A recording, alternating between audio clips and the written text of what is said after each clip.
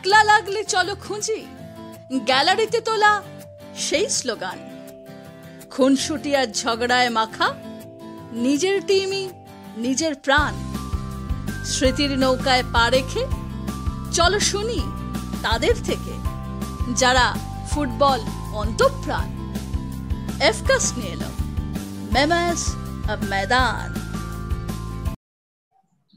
নমস্কার এফকাস্ট পডকাস্টের শ্রোতা বন্ধুগণ।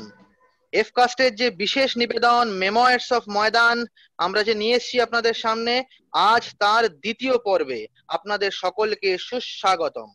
প্রথম পর্বে আমরা আমাদের মধ্যে পেয়েছিলাম আশি নব্বই দশকের একজন বিখ্যাত গোলকিপার শ্রী দেবাশিস গঙ্গোপাধ্যায়কে এবং তিনি আমাদের মাধ্যমে আপনাদের ময়দানের বিভিন্ন জানা, না জানা ঘটনা নিয়ে আলোচনা করেছেন এবং আশা করি আমাদের মাধ্যমে আপনারা অনেক অনেক সমৃদ্ধ হয়েছেন। এবং আপনাদের লাইকস কমেন্টস এর জন্য অনেক অনেক ধন্যবাদ। তাই আমরা এফকাস্টের পক্ষ থেকে আজকের আমাদের এই মেমোয়ার্স অফ ময়দানের দ্বিতীয় এপিসোডটা আরও বেশি চিত্তাকর্ষক ও আকর্ষণীয় করে তোলার জন্য পণ করেছিলাম।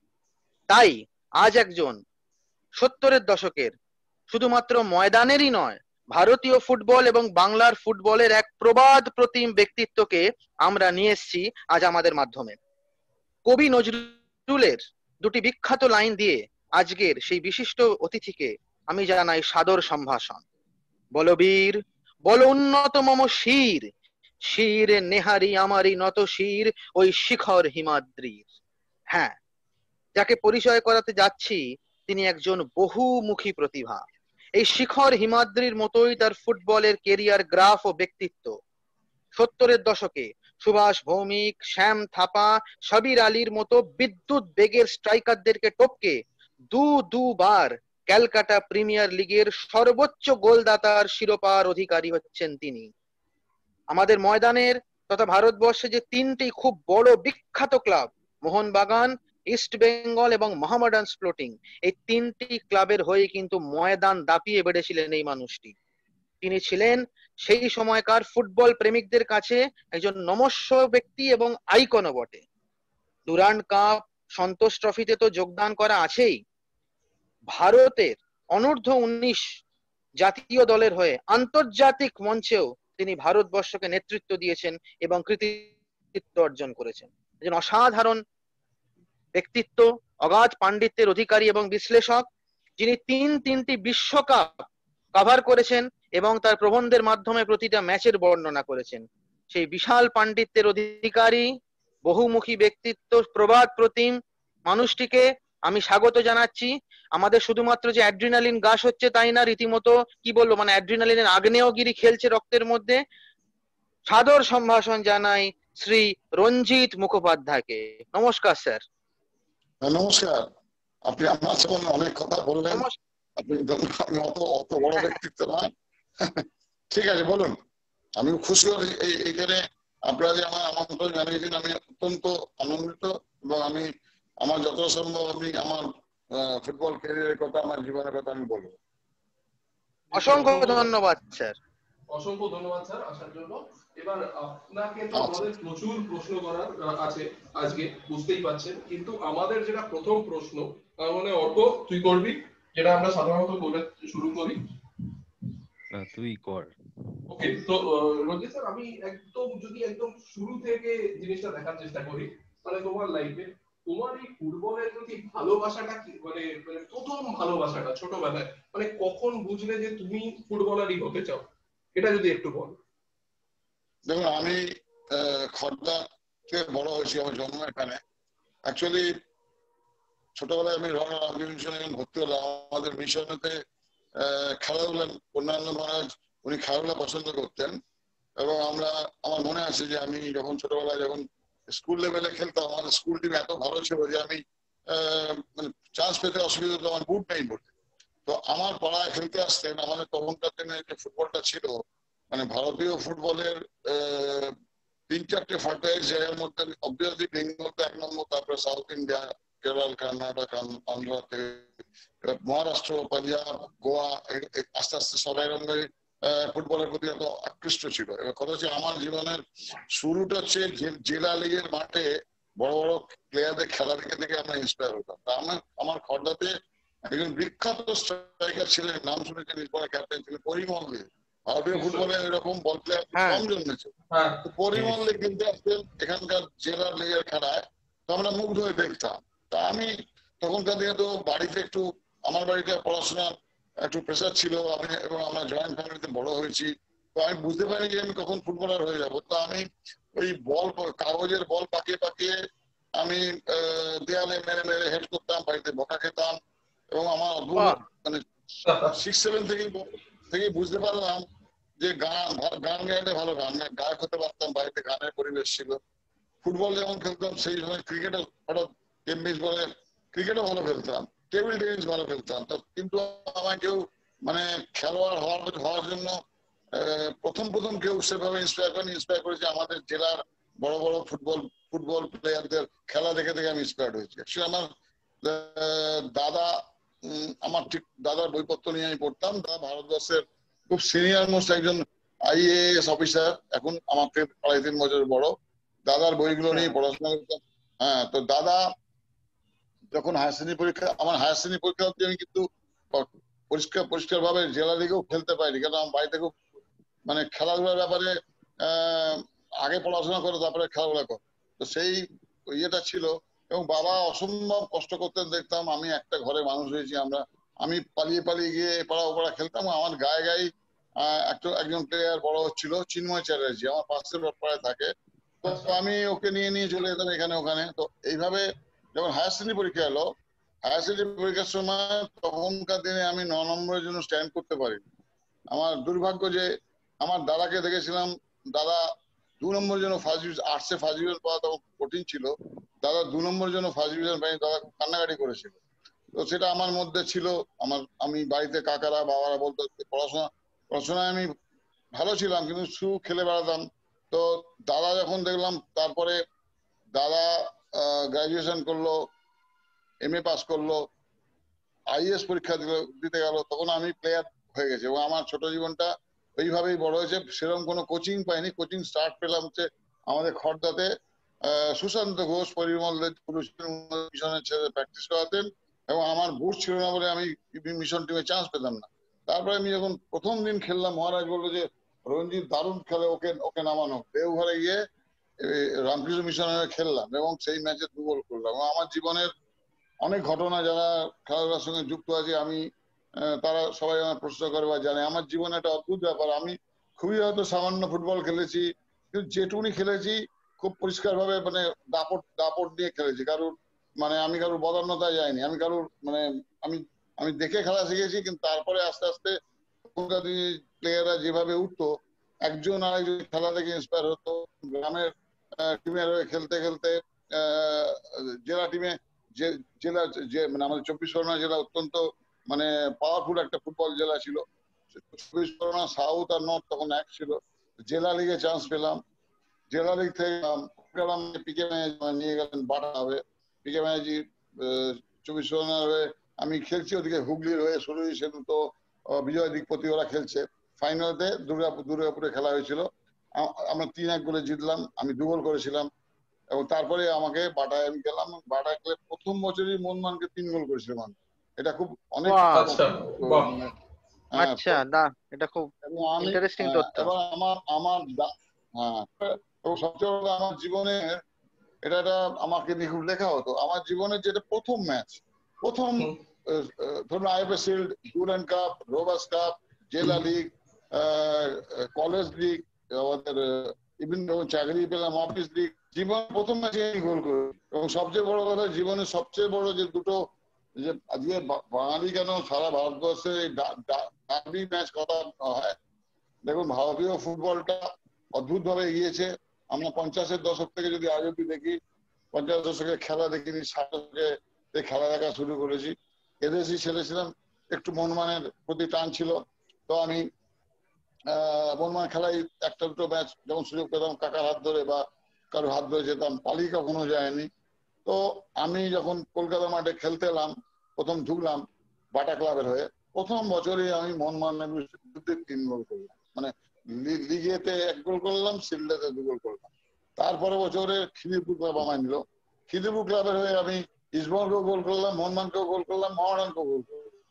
এবং তারপরে আমার জীবনের প্রথম হ্যাঁ প্রথম বড় ম্যাচ আমি খেলি মোহনমানে জার্সি হ্যাঁ, মোহনমানে জার্সি করে এবং এবং সেটা একটা এক্সিবিশন ছিল তখন দিনে একজন স্ট্রাইকার ছিলেন শীতেশ দাস উনি রেল মানে ট্রেনে কাটা পড়ে মারা যান তো ওনার সাহায্যে খেলা হয়েছিল দুর্গাপুরে আইজাপে ভার্সেস মোহনবাগান সেই খেলায় আমি আচ্ছা। মোহনবাগান ক্লাবের হয়ে খেললাম কারণ আমাকে সৈলেন মান্না চ্যালেঞ্জ আমি মোহনবাগান সই করি। ও সেই ম্যাচে আচ্ছা। আমি সলিউশন গোল করেছি।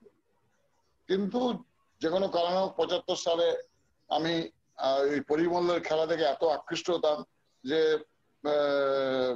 ইসবনের খেলার মানে সবসময় আমাদের ইসবন জার্সিটা পড়ব এবং সেই বছরটা এমন একটা ক্রুশিয়াল ইয়ার এলো যে বছরেতে ইস্পোর্ট ক্লাব মহা স্পোর্টিং ক্লাবের পাঁচ গোলের রেকর্ডটা ভাঙবে। আর সেটা সেই বছরে আমি মানে খুব রিস্ক নিয়ে ইসবল সই করলাম, কারণ সেইবারে হাবিব আকবর সিনিয়র একজন মানে ভালো প্লেয়ার হাবিব দাস সিনিয়র ছিল আকবর প্রচুর ভালো ভালো গোল গোল- করতো সুভাষ আর সফল সেনগুপ্ত ছিল। সেই টিমটা আচ্ছা। ভেঙে গেল। হাবিব আকবর মহা স্পোর্টিং সর্বশক্তি দিয়ে চেষ্টা করেছিল যাতে ওদের পাঁচ বছরের পর পর চ্যাম্পিয়নশিপ রেকর্ডটা যাতে না ভাঙে এবং সেইবারে স্পোর্টিং ক্লাব দুর্দর্শ টিম করেছিল এবং ইস্টবেঙ্গল ক্লাব পাঁচজন স্ট্রাইকারকে সই করেছিল আমাকে প্রদীপ রাজু বলে একজন প্লেয়ারকে জেরি বাসি তখনকার দিনে আজকে যেমন বাইচুং মুটিয়া বা আজকে যেমন নর্থ ইস্ট বেল্ট এত এগিয়ে গেছে তখনকার দিনে জেরি বাসি বলে একজন স্ট্রাইকার ছিল যে ইন্ডিয়া টিমে নক করছিল তাকেও ইস্টবেঙ্গল সই করল। হংকং থেকে একজন প্লেয়ারকে আনলো রূপ বাহাদুর। এতগুলো প্লেয়ার মাঝে আমি আমার জায়গাটা করে এবং জীবনে ইস্টবেঙ্গল ক্লাবেরও যেদিন খেলতে নামলাম নেবেই গোল করলাম।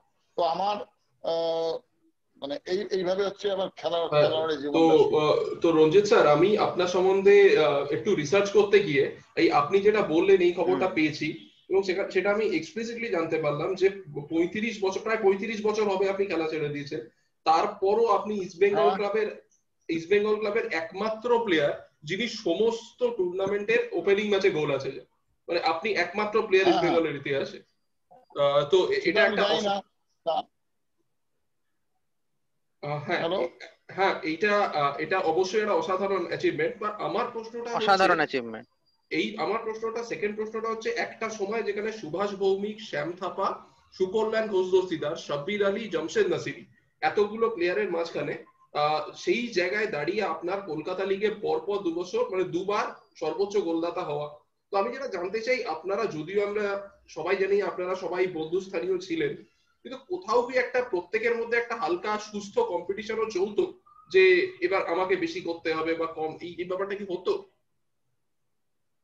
না এইটাই এইটাই মানে আমার নিজের অভিজ্ঞতায় বলে আমি দীর্ঘদিন মাঠের সঙ্গে যুক্ত খেলা ছাড়ার পরেও প্রায় ছাব্বিশ সাতাশ বছর কোচিং এর সঙ্গে রয়েছি।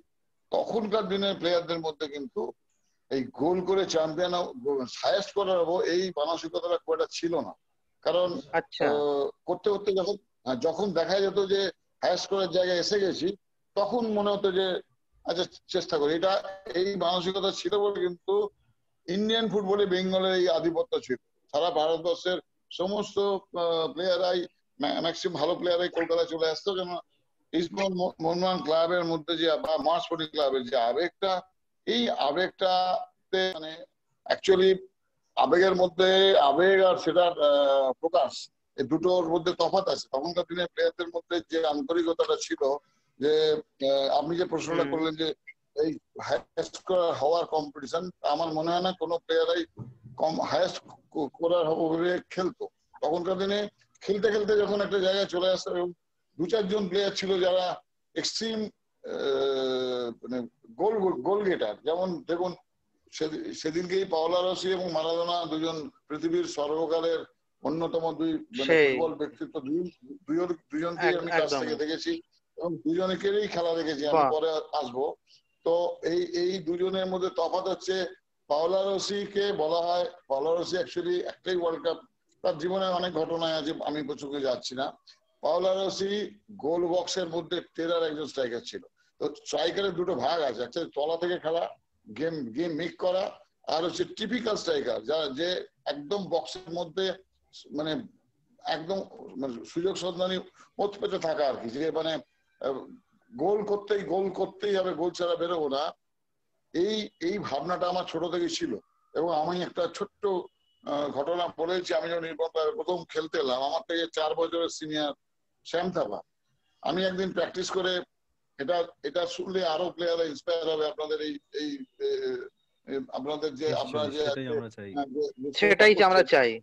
হ্যাঁ, সেটা হচ্ছে আমি যখন নির্মল ক্লাবে ফার্স্ট বছরটা খেলতে এলাম এত প্লেয়ারের ভিড়ে যে কেউ ঢুকতে পারে সবাই ভালো প্লেয়ার ছিল। তার মধ্যে আমি একদিন প্র্যাকটিস করে তাড়াতাড়ি অফিস যাব বলে পিকে ব্যানার্জি স্কুলে আমি যেতাম। উনি রেলে নামতেন আমি ইউনিয়ন ব্যাংকে ঢুকে যেতাম। তো হঠাৎ করে আমি প্র্যাকটিস করে তাড়াতাড়ি চান টান করে বেরোচ্ছি হঠাৎ মানে চান করতে যাব সান্তাও রাত। যারা? আমার অফিস যেতে হবে। চল বলে আমার মাঠে নিয়ে এলো। এসে বলে স্পিন মার। তো আমি বললাম, আবার স্পিন বলে, ক্যা উমর তোমার তোমারা? কত বয়স তোমার? তোমার দুটো উইঙ্গার কে? আমি সুভাষ ভূমিক সুরজিৎ সেনগুপ্ত। তো ওর সঙ্গে স্ট্রাইকার কে, আমি আর তুমি। তো ওদের স্পিডের সঙ্গে ম্যাচ করতে গেলে তোমাকে পঁচিশটা স্পিন মার। তো এই যে সিনিয়র প্লেয়ারদের এই যে এই যে মানে এইরকমের গাইডেন্স এটা খুব রেয়ার দেখা যায় আজকালকার দিনের প্লেয়ারদের এই গাইডেন্স একজন সিনিয়র একজন সিনিয়র জুনিয়রকে করে কিনা আমার সন্দেহ আছে। ওটা আমার কাছে খুব এটা আমি সবসময় বলি ওই কথাটা যে যেভাবে ইন্সপায়ার করেছে এটা ভাবার মতো মানে ব্যাপার। অসাধারণ আচ্ছা, মান- আমাদের আহ, মানে আমি যেটা বলছি সেটা স্যার যেভাবে ডেসক্রাইব করছেন তোদের মনে হচ্ছে না যে আমরা সেই সময়কার ময়দানটাকে চোখের সামনে দেখতে পাচ্ছি? মানে এই যে মেমো এই যে মেমো মেমোয়ার্স অফ ময়দান নামটার মনে হচ্ছে সার্থকতা আজকে পেলাম আমরা। আবার আবার একটা ঘটনা বলছি আমার হাঁটুতে ব্যথা তা আমার পায়ে আমার পরিষ্কার মনে আছে আমার আমার হাঁটুতে লাগছে আমি এটা বলে ট্যাকল করতে গেলাম সুধীর কর্মকে আমার ট্যাকল করল আমি হাঁটুতে না করে অ্যাঙ্কেল ধরে বসে পড়লাম। তো প্রদীপ দয়ালো দৌড়ে কি হয়েছে? আমি অ্যাঙ্কেলটা প্রচণ্ড লেগেছে। ভয় হাঁটু বলছি না কারণ হাঁটু বললে যদি বাদ দিয়ে দেয় চলে গেলাম আচ্ছা। চলে চলে গেলাম বিকেল বিকেলবেলা চলে গেলাম ডাক্তার কল্যাণ মুখার্জির কাছে। উনি বিখ্যাত অর্থোপেডিক ডাক্তার ছিলেন এবং প্লেয়ার দেখে ভালোবাসতেন। কল্যাণ না বলছে যে, কি হয়েছে আমি বললাম, আমার হাঁটুটা তো ভীষণ লাগছে তা সেখানে হাবিবদা এসছে হাবিবদা দেখতাম যে পায়ে জল বার করে খেলতো ওই লোকটাকে দেখে আমি অবাক হয়ে গেছি যে হাঁটুতে লাগা এবং সে টোটকা ট্রিটমেন্ট করতো ওরা তো আহ, কল্যাণদার কাছে আমি গেছি হাঁটু নিয়ে আমাকে হাবিবদা দেখুন আমার অপোনেন্ট টিমের প্লেয়ার ও মাসপোর্টিং এর একটা মেন প্লেয়ার আমাকে বলছে পিঠে চাপড় মেরে বলছে যে अरे हमको नहीं देखा है क्या क्या चोट में हम खेलता है कुछ नहीं है जाओ ऑर्थोपेडिक डॉक्टर के पास आया বা- যাও যাকে যাকে আমি বলছে বালি বালি বালি আহ, বস্তার মধ্যে পায়ে নিয়ে পায়ে চার দিন কর কমে যাবে তো এই সমস্ত গাইডেন্স আচ্ছা। আমরা এইভাবেই এভাবেই খেলে বড় হয়েছে সুতরাং সত্যি কথা বলতে যত দিন যায় আপনার কোর্সের মাধ্যমে নিশ্চয়ই আমরা বলতে থাকবো যে এখন আ- খা- খারাপ লাগে যে ইন্ডিয়ান দেখুন আজকে একটা এমন দিন আমি জানি না, অনেকে জানে কিনা। ভারতীয় ফুটবল দেখুন, আমরা যখন দেখেছি তখন বম্বেতে জিয়াউদ্দিন ছিলেন এর প্রেসিডেন্ট এবং তারপরে প্রিয়রঞ্জন দাসবংশী যখন এই ভারত মানে ইন্ডিয়ান ফুটবলের প্রেসিডেন্ট হলেন, তো প্রিয়দার সঙ্গে আমি তিনটে ওয়ার্ল্ড কাপ কভার করেছি।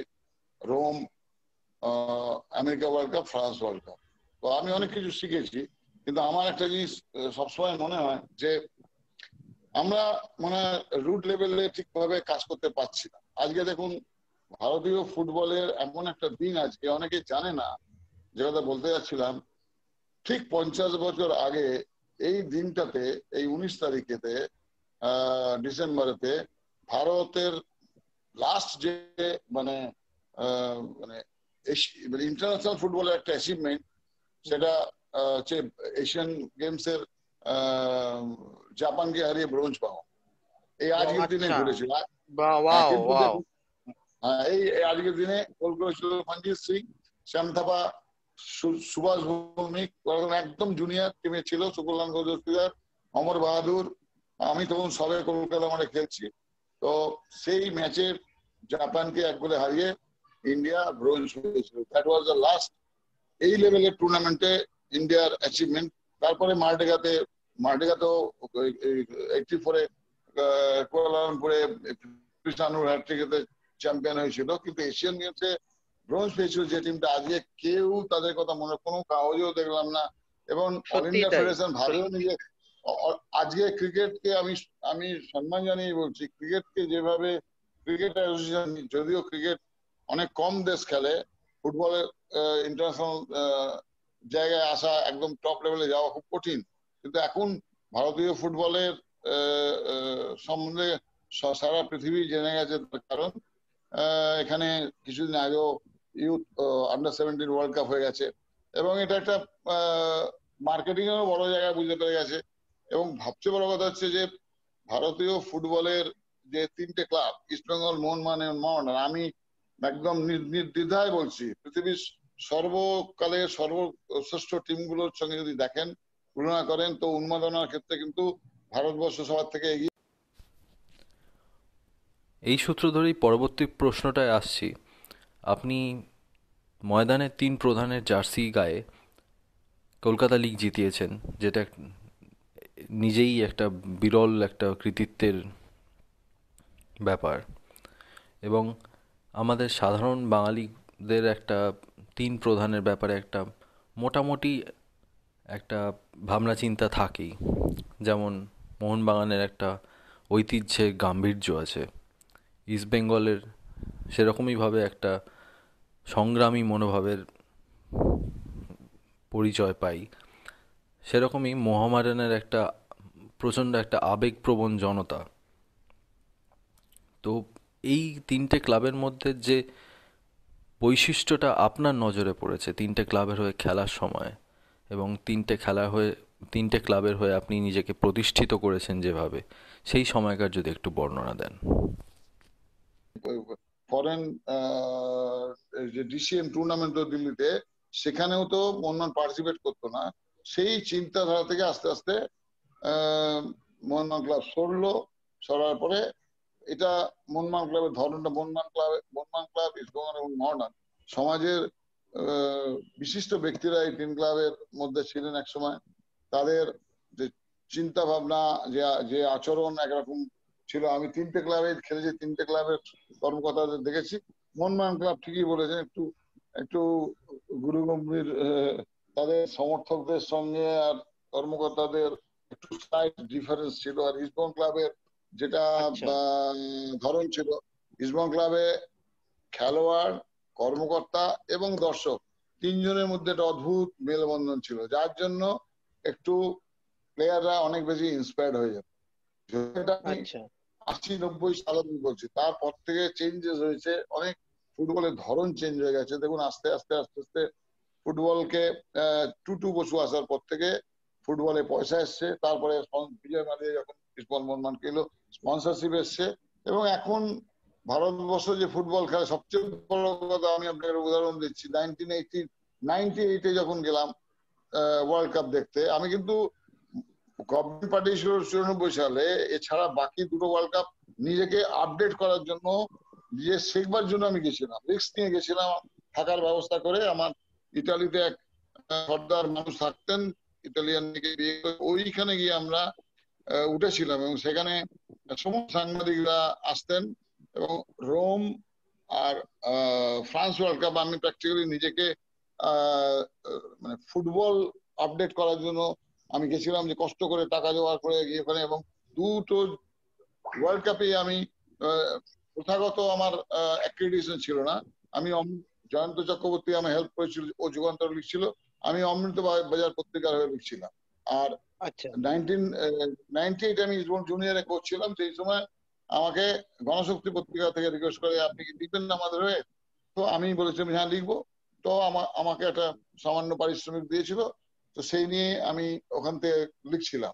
অ্যাকচুয়ালি নাইনটি এইটে আমি, আর নাইনটি ফোরে আমি ফিফা যে হোটেল দুটো নিয়েছিল নাইনটি ফোর নাইনটিতে হিলটন হোটেলটাকে রোমেতে ফিফা অফিস করেছিল, আর নাইনটি এইটেতে লা মেরিডিয়ান হোটেল ফ্রান্সে ফিফা নিয়েছিল আমি প্রতিদিন গিয়ে ওখানে বসে থাকতাম। যতদিন, কারণ আমি জানতাম যে কোনো প্লেয়ারকে যদি সামনে পাই আমি জানবার আমার ইংলিশ স্পিকিং এ কোনো প্রবলেম ছিল না। আমি আর নিমাই গোস্বামী গেছিলাম। তো ওইখানেতে আমি সবসময় বসে থাকতাম যে কোন সাংবাদিক আসছে, কোন দেশের বড় বড় প্লেয়ার আসছে। এইখান এই এই তিনটে ওয়ার্ল্ড কাপের মধ্যে আমি ধরুন বেকেন বয়ার প্লাতিনি আচ্ছা। রুডি ভাওলার ম্যারাডোনা ম্যারাডোনা দোবাসিতে কথা বলতো। আহ, আপনার হ্যাভালেজ আপনার পৃথিবীর প্রথম বিশ্বকাপের প্রথম যে গোলদাতা তার নাম ছিল মসিও লুসিও লোরে। আচ্ছা। উনি প্রথম গোল করেছিলেন উনিশশো তিন উরুগুয়েতে। ওনাকে ফিফা নিয়ে এসেছিল স্পেশাল গেস্ট করে তখন বিরাশি বছর বয়স।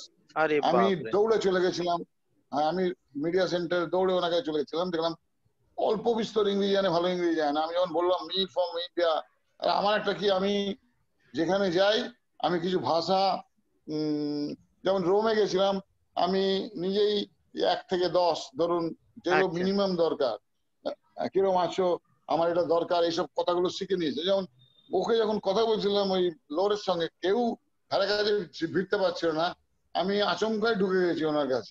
গিয়ে প্রথমেই বলেছি আমি me soccer player from India উনি সকার উনি ইন্ডিয়া যে সকার মানে খেলে জানেই না উনি আমাকে এরকম করে হকি স্টিক দেখিয়ে ধ্যানচাঁদের নাম বললেন। এবং আমি মানে আমাকে সবাইকে ছেড়ে আমার সঙ্গে কথা কথা বলতে গেলে। আমি যখন বললাম এবং তাতে আমি বললাম যে I was striker my country আমি বললাম যে আমার তো নোট উনি মজা করে বললেন যে ইউ পলারসি আমি বললাম যে আমি তখন হ্যাঁ, আমি তখন যে no no no not I am a simple player I am now involve in coaching of junior level এটা বলে আমি আমি নিজেকে আপডেট করার জন্য শিখতে আমি এখানে এসেছি। তো আমি তখন আমি ওই আমাকে বলছে যে ও মানে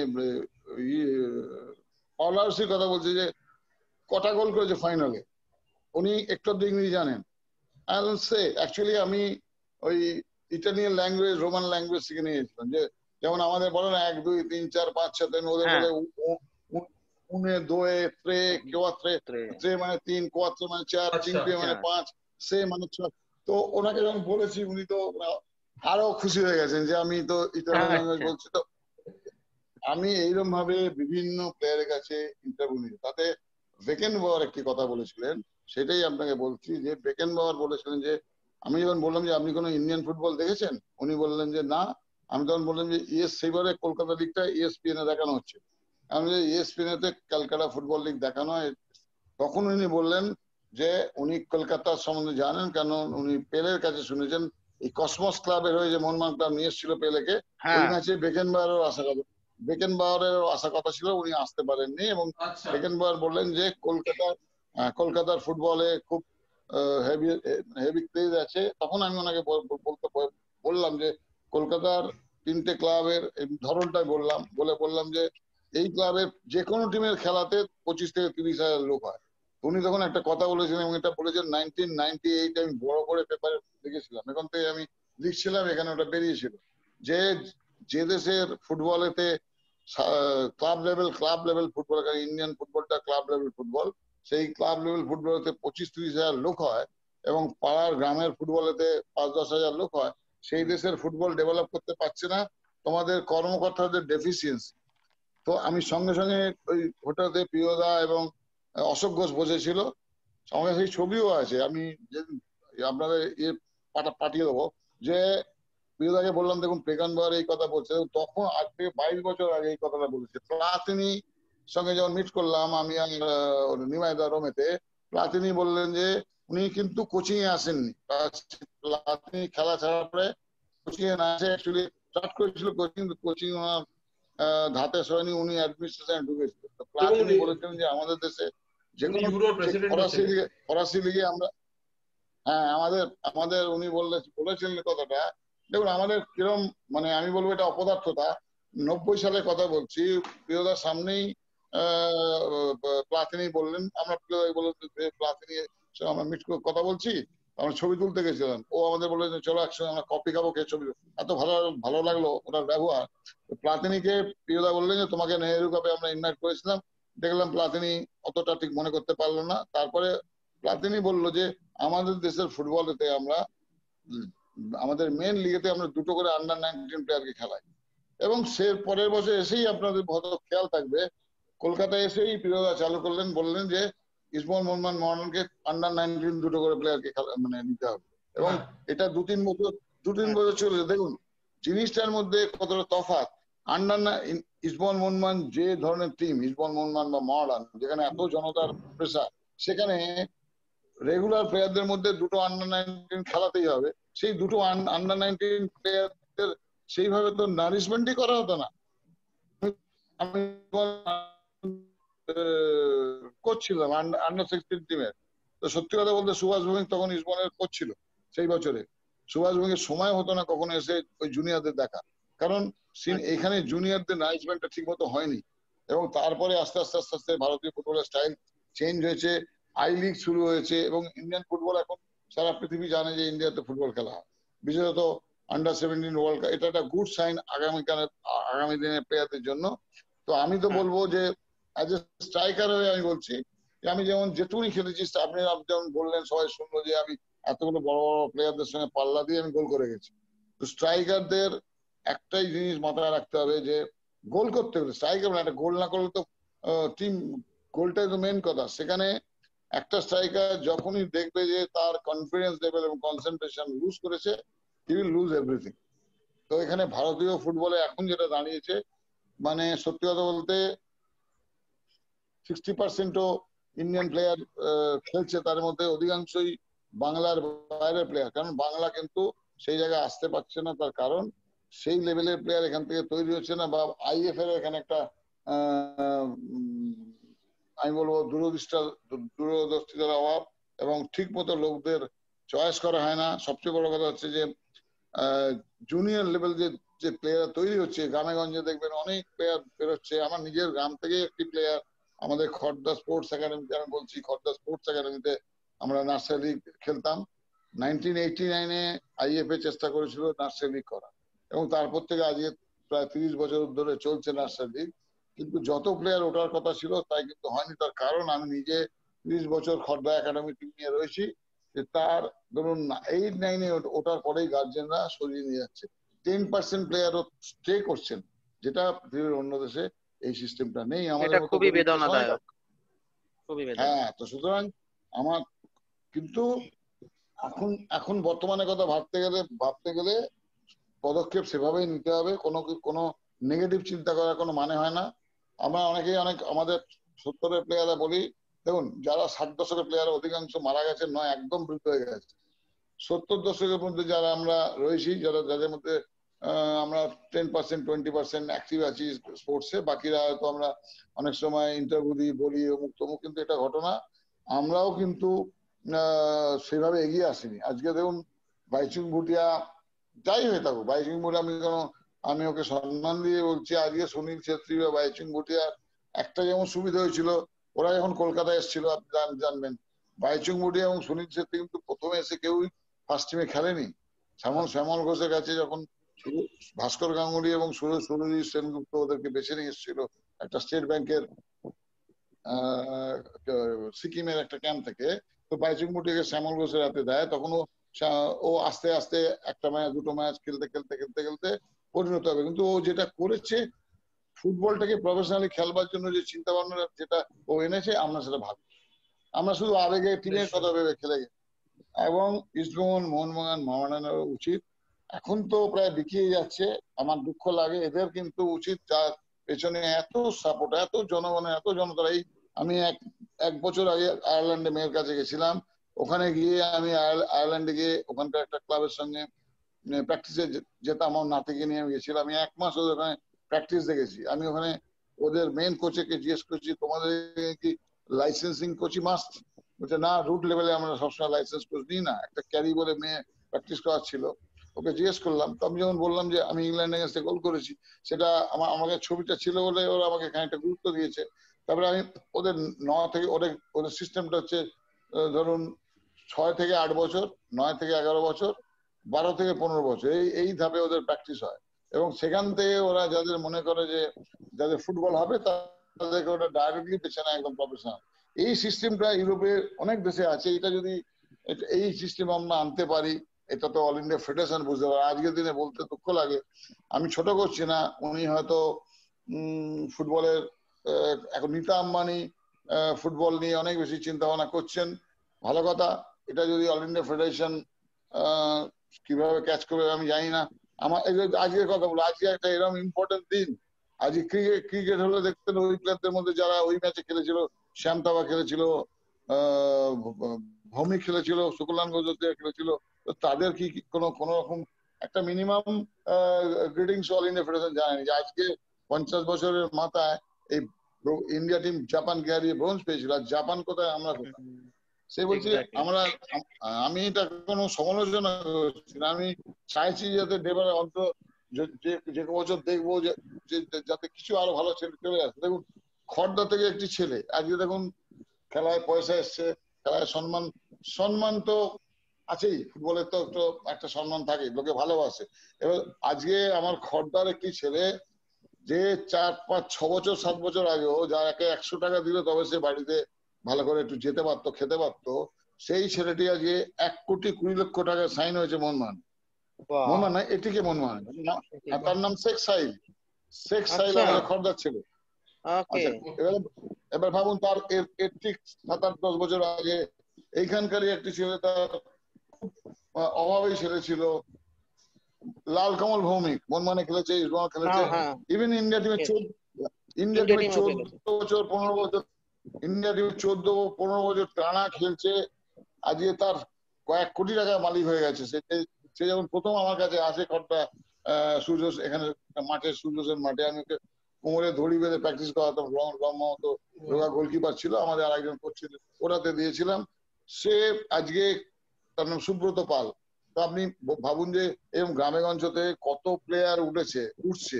তো এর প্রপার সিস্টেমটা যদি না আসতে পারে আজ বোম্বের কথা ভাবুন না।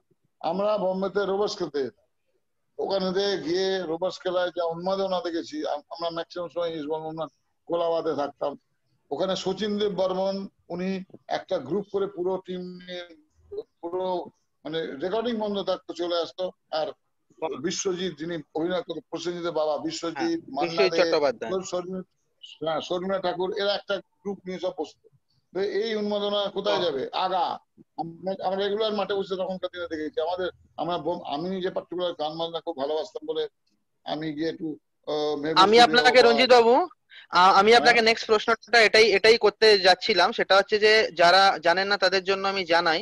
আমি যে প্রথমেই বলেছি যে রঞ্জিত মুখোপাধ্যায় একজন ইনস্টিটিউশন সেটা এমনি এমনি বলিনি। সেটা হচ্ছে উনি শুধু ফুটবলের বাইরে ময়ূকর্ক কি বলব উনি একজন অসাধারণ সংগীত শিল্পীও। মানে যথেষ্ট ভালো মানে উনি হ্যাঁ। নিজের জন্যই গান।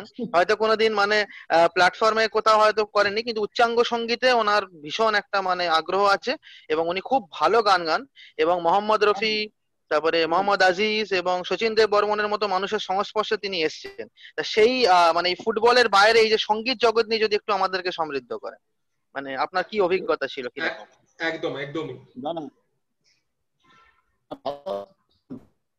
আমার আমি আমার বা- বা- বড় কাকা ছিলেন সুরসাগর প্রসাদ মুখার্জি উনি আহ, তখনকার দিনের একজন বিখ্যাত আহ, সংগীত শিল্পী ছিলেন শিক্ষক ছিলেন উনি। সবাই ওই গান আমি ছোটবেলায় দেখেছি বাড়িতে এই গাড়ি হাফ প্যান্ট পরে আসতো বাবার সঙ্গে। তারপরে রামকুমার আচ্ছা। জেঠু ধনঞ্জয় ভট্টাচার্য সব আসতেন বাড়িতে। তা আমি কেন জানি না আমার আচমকাই আমি ভালো গান গাইতে পারতাম। কিন্তু বড় কাকা বলতো কিন্তু তুই গান শেখ। তো আমি কখনোই গান ফান শিখিনি। ওই গুনগুন নিয়ে যেত কলেজে কলেজে তো একদম আমি হিরো ছিলাম গান গাইতাম টেবিল করে। খেলার মাঠে আমি শুরু সেনগুপ্ত সুব্রত ভট্টাচার্য আহ ওদিকে গুরুদেব সিং আমরা সব ডুরান্ড কাপ রোবাস কাপে গিয়ে হই হই করে গান গাইতাম তো এইভাবে কিন্তু আমার একটা একজন মানুষকে দেখার খুব শখ ছিলেন তার নাম মোহাম্মদ আমি কেন আচ্ছা। জানি না ওনার অসম্ভব ভক্ত ছিলাম এবং অদ্ভুত ভাবে এই ঘটনা শুনলে অবাক হয়ে যাবেন যে প্রথম মিটিংটা ওনার সঙ্গে ওনার প্রোগ্রাম দেখেছি ষাটের দশকে কিন্তু সামনে তো দেখতে পাইনি। সত্তর তিয়াত্তর সালে সত্তর ট্রফি হয়েছিল এর্নাকুলামে। সুভাষ ভবনী ক্যাপ্টেন তো আমি আমি সেইটা আমার প্রথম সন্তোষ ট্রফি। আমি সবই ঢুকেছিলাম সুকুদা স্বপন সেনগুপ্ত সুধীর কর্মকার সমরেশ চৌধুরী গৌতম সরকার সবাই ছিলাম। হাবিব আকবর টাইমদা তো ওই ম্যাচে সার্ভিসেস ভার্সেস বাংলার ম্যাচের দিন হঠাৎ অ্যানাউন্স হলো আজকে চিফ গেস্ট মোহাম্মদ রফি তো আমার তো মানে সবাই সবাই আমাকে নিয়ে মজা করতে লাগল। আর হাবিবদা আর নাইমদা আমাকে রোজ ঘরে ডেকে নিয়ে গিয়ে আমি গান গান শোনাতাম।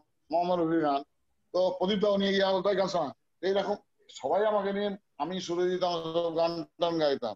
ভট্টাচার্য সুব্রত ভট্টাচার্য গান ভালোবাসতো। অনেকেই গান আমি তো শিখিনি সুরজিৎ খুব ভালো গান আচ্ছা। গাইতো। তো তারপরে এবারে আমি সুকুমার সমাজপতি অশোক চ্যাটার্জি মারা গেছেন। এরা সব দারুণ সুকুমার দত্ত ক্লাসিক্যাল আর্টিস্ট তো আমি হঠাৎ করে মোহাম্মদ রবিকে সবাই হ্যান্ডশেক করছি আমি পায়ে দিয়ে প্রণাম করেছি। তো ওরা তো মনে করতে লাগবে হাবিবার আকবর হাবিবার নাইমদা নাইমরা মামানুর হোসেন কথা বলে ঠিক করল পরের দিন হোটেলে দেখা করতে হবে আমি অনেক করে বললাম যে আমাকে একটু নিয়ে চলুন।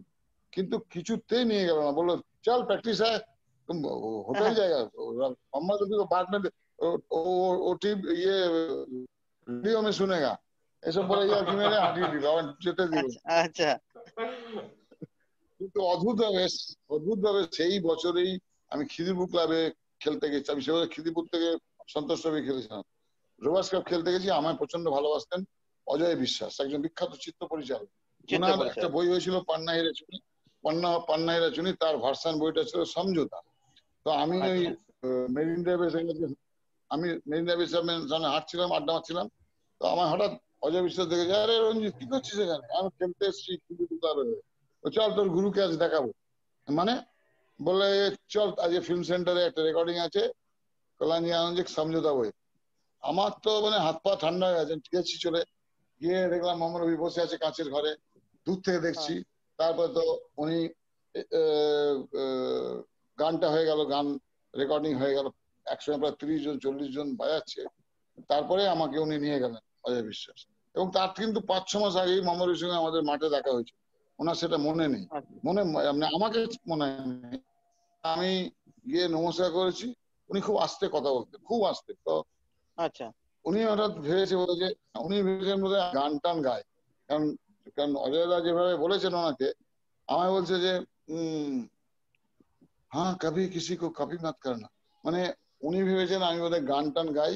আমি নেই নেই আচ্ছা। আমি কবি গায়া নেই আমি। তো না আচ্ছা। তখন আমি ওনাকে বললাম যে আপনার সঙ্গে তো আমার পাঁচ মাস আগে দেখা হয়েছিল।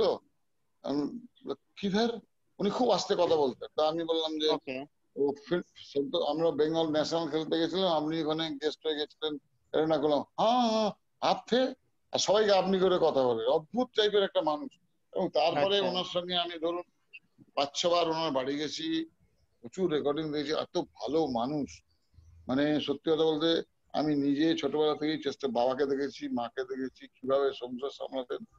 আমি রহস্যময় ক্লাবের কথা সবসময় বলি আমাদের এই আমি এই গান বাজনা, আপনি বলেছেন ঠিকই, আমি না গান বাজনাকে কখনো কমার্শিয়ালি ভাবিনি। গানটা ভালোবাসতাম, আমি কখনো কোনো কারুর হেল্প করতে হলে, কারুর সাহায্য করতে হলে, আমি ওই আমার, এটা ছোট থেকে এই হ্যাবিটটা আমার রয়েছে আমার বাবা বাবা মার থেকে আমি শিখেছি। আমি যে কোনো ব্যাপারে ঝাঁপিয়ে পড়ি, অনেক সময় হয়তো ভুলও করেছি, ধাক্কা খেয়েছি দুঃখ পেয়েছি, কিন্তু আমি এই গানের মাধ্যমে বা খেলার মাধ্যমে এই দুটো জিনিসকে আমি নিয়ে চলি রাজনীতি করি না বা রাজনীতির মধ্যে ঢুকিও না।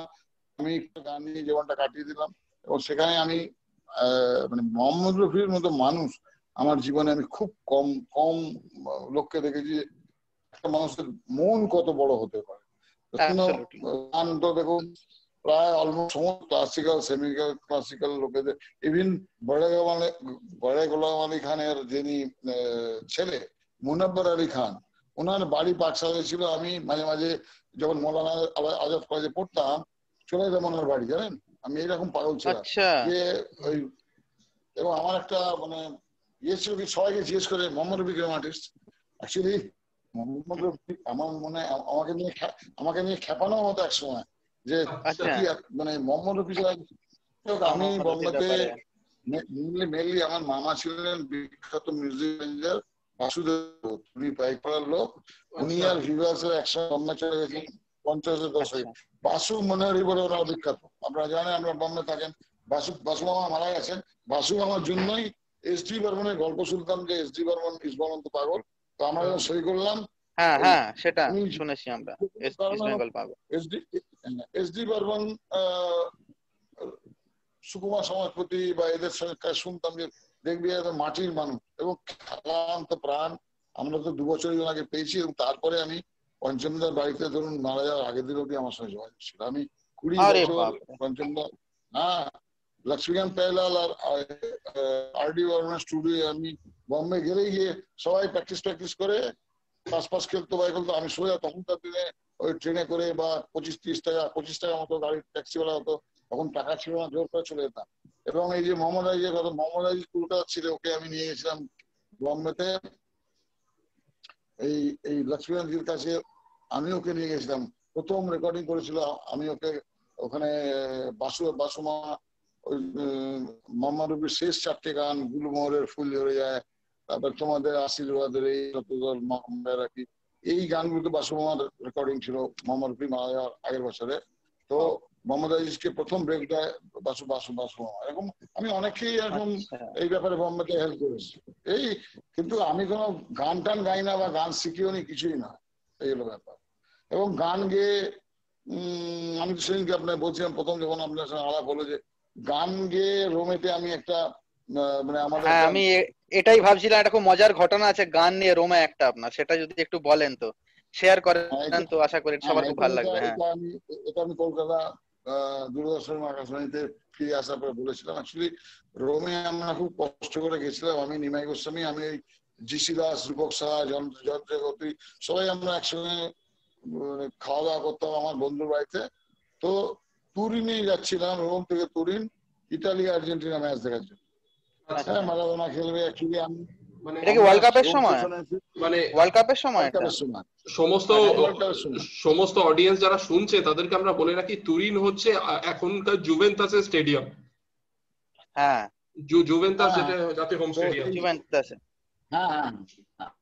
তো আমরা আমরা শুনলাম আমি নিমাইদা এবারে প্রিয়দা অন্য অন্য একটা কম্পার্টমেন্টে ছিলেন। আমাদের তিনজনে উঠে, আমার কোনো পয়সা বাঁচিয়ে চলছিলাম তো তো কিচ্ছু কিন- কিনিনি। ইভেন একটা ফ্যান্টা বা কোকোলা কিনবো সেটাও সাহস পাচ্ছিল না টাকার অভাব। তো যাই হোক নেবে প্রিয়দা তো আছে হেল্প করবে। তো আমরা উঠেছি ট্রেনে। দাসদা জিসিদার বিখ্যাত প্রিয় সাংবাদিক, উনি বয়স উনি আজকাল লিখতেন অনেক ফ্রিল্যান্সিং করেছেন এবং আটটা ওয়ার্ল্ড কাপ সাতটা ইউরো কাপ দেখেছেন। দাসদা ওই মেয়েটির সঙ্গে ছেলেটি আমাদের উল্টো দিকে একটা ছেলে আর মেয়ে তারা বোধহয় খেলা দেখতে যাচ্ছিল। একটা বোধহয় ফরাসি ছেলে মেয়ে হবে হয়তো বুঝতে পারলাম না। দেখলাম দাসদা অনায়াসে ওর সঙ্গে গল্প করে যাচ্ছে। করতে করতে হঠাৎ মেয়েটি দুটো নাম বলল আমি চমকে গেলাম। লতা মঙ্গেশকর আর আহ, পণ্ডিত রবিশঙ্কর। আমার মনে হলো যে এরা মনে হয় ইন্ডিয়ান কালচার সঙ্গে কোনো আইডিয়া ফাইডিয়া আছে বা ভারতীয় ফিল্ম টিম দেখে টাকে তো। হঠাৎ আজকে আমাকে বলছে রঞ্জিত আরে ভালো গান গাও তো। আমি গান বই গাও না খুব দরকার আছে। তাড়াতাড়ি গান গাও। কি গান গাইবো? যে গাও না যাও আমি আমি কি করি আমি তখন একটা গান একটুখানি ধরলাম। তা আমি যখন রোমান্টিক গান বলেছে ফট করে মাথায় বলে একটা গান আমি এক লাইন গাইছি হ্যাঁ? নিশ্চয়ই আমরা তো আমি ভাবছিলাম আপনাকে রিকোয়েস্টই করব যে আমাদের এপিসোডটা শেষ হোক একটা গান দিই। হ্যাঁ। যে যে যে- যে ঘটনাটা ঘটেছে সেটাই বলছি আমি একটা গান বললাম হ্যাঁ। फूलों की रानी बहारों की मलका तेरा मुस्कुराना गजब हो गया ये फूलों की रानी बहारों की मलका तेरा मुस्कुराना गजब हो गया न हम होश में न तुम होश में नजर का मिलाना गजब हो गया বলে শুনে গেছি তো মে- মেয়েটি আমাকে আ- হাত দিকে দিকে বলছে যে মানে গুচ্ছিন গুচ্ছিন আবার গাইতে বলছে তো আমি আবার গান ধরলাম একটা আচ্ছা बहारो फूल बरसाओ मेरा महबूब आया है मेरा महबूब आया है তো হঠাৎ বলছে যে একটু থেকে আর গাইতে হবে না। আর ওই মেয়েটা বারবার বলছে গান গাইতে। আমি তো অবাক হয়ে যাচ্ছি। আমার মুড এসে আচ্ছা। গেছিল। দাসদা আমায় দাসদা দেখি ওই ছেলেটাকে মেয়েটা কি বলল? দেখি মেয়েটা তাক লাভ দিয়ে বাঁকের উপরে উঠে পিজা তারপরে কোকা কোলা এসব হলো? আচ্ছা। দাসদা বলছে দাসদা বলল আরে রঞ্জিত তোরা তো পুরো ইন্ডিয়ান ফিল্ম টিম দেখে। আমি বললাম যে তোমাকে দেখেই বললাম এই ইন্ডিয়ান সিঙ্গার আমি এইসব আরে বলছেন? হ্যাঁ তো বলে বলে যে তো বলছে গান ও বলছে যে গানটা থেমে গেল কেন? তখন আমি বললাম গাইবে কি? সকাল থেকে না খাওয়া আছে জল পেয়েছে। অ্যাকচুয়ালি এটা একটা দাসদার নাটক ছিল। ওই ওই- নাটক ছিল। সারা আচ্ছা। খাওয়া দাওয়া খাওয়া দাওয়াটা হয়ে গেল। এরকম অনেক ঘটনা ঘটনা আছে। আমাদের আহ, বিয়েতে কি নাম যখন পাতিয়ালাতে ইন্ডিয়া টিমের ক্যাম্পেতে একজন ফরেন কোচ এসেছিল আমাদের জার্নাল সিং এবং জার্নাল সিং আমাদের কোচ ছিলেন সেবারে ইন্ডিয়া টিমে আমরা তেহরান যাব এশিয়ান ইউথ কাপ খেলতে।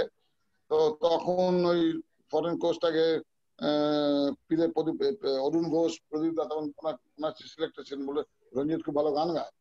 তো ওনারা বলেন যে একটু এটা ভালো বাংলা গান, বেঙ্গলি গান শোনো তো বলে যে রঞ্জিত ভালো বাংলা গান শোন। তখন আমি একটা মান্নাদের গান গেয়েছিলাম। এরকম অনেক আমরা আমেরিকায় গিয়ে আমি সুব্রত বাংলাদেশে গান গেয়েছিলাম।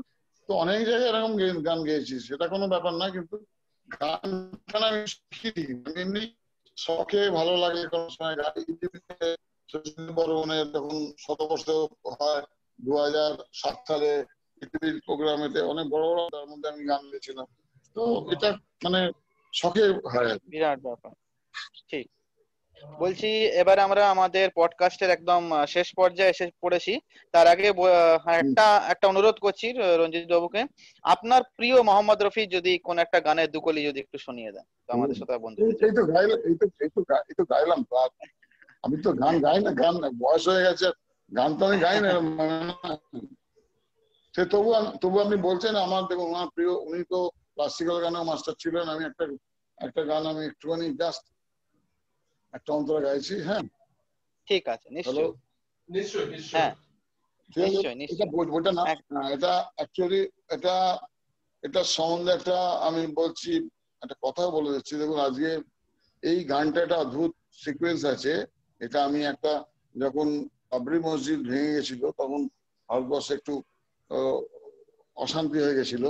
তো সেই সময় আমি একটা জায়গায় প্রাইজ দিতে যাই। ওখানে একটা গানের অনুষ্ঠান ছিল তো ওখানে আমি জনায়ের দিকে কোনো একটা জায়গা বগুলা টগুলা বোধহয়। তো আমি কথাটা বলেছিলাম যে এটা আমি জানি বলে যে ভারতীয় সঙ্গীতের ফিল্ম ফিল্মেতে আমাদের হিন্দুদের ধরুন আমরা একটা সিকুলার কান্ট্রিতে বাস করি এখানে সবাই আমরা সমান। এখানে কোনো হিন্দু বাঙালি হিন্দু মুসলিম খ্রিস্টান সব মিলিয়ে আমরা থাকি। তো এখানে কথাই ছিল যে হ্যাঁ। হ্যাঁ, তো সেখানে একটা গান ভারতীয় ফিল্মে হয়েছিল আজ থেকে প্রায় সত্তর বছর আগে যেটা বৃন্দাবনে রেকর্ডিং হয়েছিল। অনেকে জানে না বা যারা জানে তারা তারা না জানে বলছি আমি। এই গানটা রেকর্ডিং হয়েছিল বৃন্দাবনেতে উনিশ বাহান্ন তিপ্পান্ন সালের একটা রেকর্ডিং তখনকার দিনে যেখানে রেকর্ডিং হতো সেখানেই শুটিং হতো। তো এইখানে মোহাম্মদ রফি এই গানটা একটা ভজন ছিল হিন্দুদের একটা পবিত্র ভজন ওইটার নাম ছিল ওই হ্যাঁ বিখ্যাত ছবি। ওইটাতে একটা গান ছিল আপনাকে পরে যেটা বলছি গানটা গেয়েছিলেন একজন ম্যামাডান সুর করেছিলেন একজন ম্যামাডান লিখেও ছিলেন একজন ম্যামাডান অথচ এটা একটা হিন্দুদের পবিত্র ভজন। এই জন্যই তো রবি ঠাকুর বলেছেন যে বিবিধের মাঝে দেখো মিলন মহান। এটা গানটা গেয়েছিলেন মোহাম্মদ রফি সুর করেছিলেন নসাদ লিখেছিলেন সেকেন্ড বেদান এই গানটা ছিল বৈজুবারা বইতে মান তারপর मन तरपत हरिदर सन को आज। मन तरपत हरिदर सन को आज। मोरे तुम बिन पिघरे सागर काज। এই গানটা নিশ্চয়ই আমি একটু স্কেল উঁচু করে ফেলেছি। হ্যাঁ তো অ্যাকচুয়ালি এটা একটা ভজন ছিল। হ্যাঁ এটা অদ্ভুত একটা গান আমার খুব প্রিয় গান ছিল। আমার এখন তো প্রস্তুত ছিলাম না। এটা, এটাতে কোনো মিউজিকও নেই। গলা গলা খানিটা ক্র্যাক করে যাচ্ছে। এই গানটা উনি গেয়েছিলেন যেমন তেমনি আরও একটা গান গেয়েছিলেন। মধুবন রাধিকা নাচে রে মধুবন। मधुबन में राधिका नाचे रे गिरधर की मुरलिया बाजे रे मधुबन में রাধিকা নাচে রে তো এরকম অনেক ক্লাসিক্যাল গান গেয়েছেন অসাধারণ অসাধারণ ক্লাসিক্যাল গান তো যাই হোক আপনি বলেছেন বলে আমি একটু চেষ্টা করব গান অসাধারণ না সত্যি আপনার কাছ থেকে খুব ভালো লাগবে আপনার কাছ থেকে আমরা অনেক কিছু শিখতে পারলাম জানতে পারলাম এবং আমরা অনেক- অর্থে সমৃদ্ধ হলাম। এবং সেই ব্যাপারে আমি একটু আপনাকে জিজ্ঞেস করতে চাই আপনার যদি কোনো ফিডব্যাক থাকে আমাদের জন্য। এক্স্যাক্টলি যদি আমাদের প্রতি কোনো ফিডব্যাক থাকে আপনার। দেখুন আমি আহ, আমার পরিচয় ভাস্করের ভাই প্রথম পরিচয় করিয়েছিল। আপনি আমার আমার একটা রিকোয়েস্ট আপনার কাছে আপনার মাধ্যমে আমরা জানিয়ে দিন যে যাতে আমি ফুটবল খেলেছি ভারতীয় ফুটবলার প্রচুর বিদেশি ফুটবলার খেলেছি অন্তত মানে স্যার আপনার কথাগুলো না কেটে কেটে যাচ্ছে। আ- আমরা ঠিক ক্লিয়ারলি আসছে কেটে কেটে যাচ্ছে। আচ্ছা ঠিক আছে যাতে আগামী প্রজন্মের খেলোয়াড়রা যেন ভালো একদম প্রফেশনালি ফুটবল খেলে এবং চেষ্টা করে ইন্ডিয়ান ফুটবলকে এগিয়ে নিয়ে যেতে এবং ভালো মানুষ হতে। সবার আগে দরকার ভালো মানুষ না আর আমি আপনার সঙ্গে যোগাযোগ রাখব। তো আমার যদি কিছু, আমি এই গান এবং খেলা নিয়ে অনেক ভালো কাজ করি। পার্সোনালি করি, আমি কোনো এনজিও না কিছু, আমি নিজেই নিজের মতো করে কাজ করি। যদি কখনো কোনো প্রয়োজন পড়ে, আমি আপনাদের দ্বারস্থ হব। ওরে এটা তো আমার আমাদের কাছে বিরাট প্রাপ্তি আজ। আমাদের কাছে সেরা প্রাপ্তি এবং আমি আর একটা কথাও মানে মন থেকে বলতে চাই সেটা হচ্ছে আপনার যা জীবনী সেটা আপনাকে একটা পডকাস্টে আপনার সম্বন্ধে পুরোপুরি জানা সম্ভব নয়। আরও প্রচুর সম্ভব। রইল যেটা যেটার জন্য আপনাকে হয়তো পরের বার আসতেই হবে আরেকবার। পরে আবার। নিশ্চয়ই আমি আমি আমি আহ, এই বলে শেষ করছি যে আহ, যেটা আমি গতবারেও বলেছিলাম যে মাঠ ময়দান তো হারিয়ে যাচ্ছে এবং যেটা মানে রঞ্জিত স্যারও বললেন যে এখন ফুটবল এইট নাইনের পরে অনেকে ছেড়ে দিচ্ছে। কিন্তু আমার মনে হয় এই রঞ্জিত মুখোপাধ্যায়ের মতো এরকম প্রবাদ প্রতিম মানুষের এই যে আজকে সাক্ষাৎকার হলো, এই যে আড্ডার ছলে অনেক গল্প হলো, মনে হয় আপনারা শুধু সমৃদ্ধ হলেন না এবং আমার মনে হয় যুব সমাজ আরও বেশি করে অনুপ্রাণিত হবে।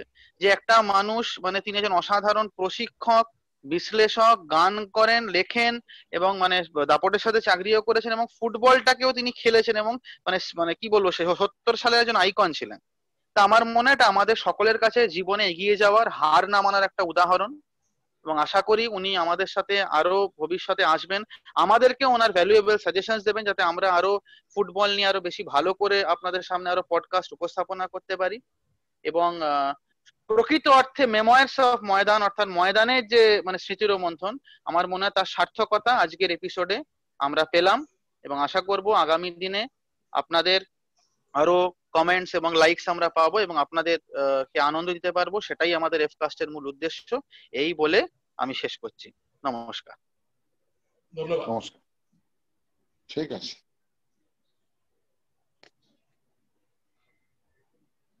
ধন্যবাদ স্যার।